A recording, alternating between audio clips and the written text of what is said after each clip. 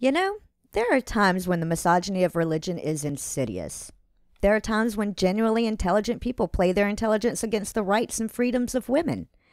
But then there are those other times when you just stare with your jaw on the floor and realize the true extent to which some people have no fucking idea what they're talking about.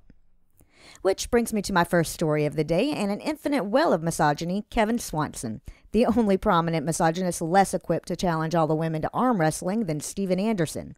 Anyway, Kevin took to the airwaves this week and announced that if Hillary Clinton becomes president, it will be the final chapter in feminist war on America. According to him, Hillary's presidency would be revenge on America for Bill Clinton's affair. At least I think so. Here's the quote They don't appreciate the fact that a woman was taken advantage of. Therefore, in order for this woman to be vindicated, she has got to prove herself by winning the power struggle over the highest office in the land. This is what defines America today. End quote.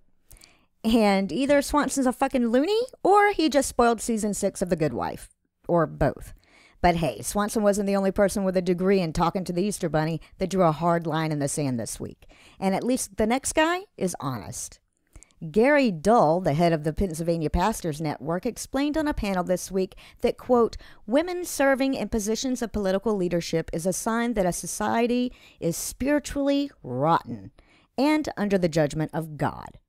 He then went on to cite 1 Timothy 2, you know, the passage Eli used to troll the protesters at Reason Rally.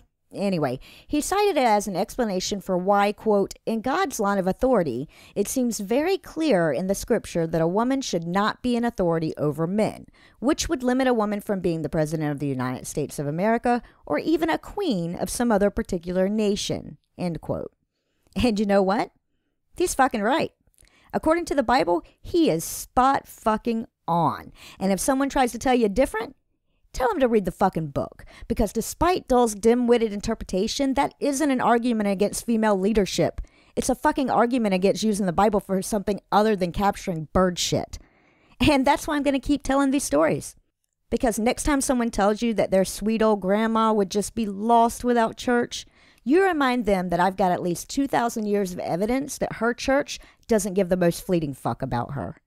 And on that cheery note, I'll hand things back over to Noah, Heath, and Eli.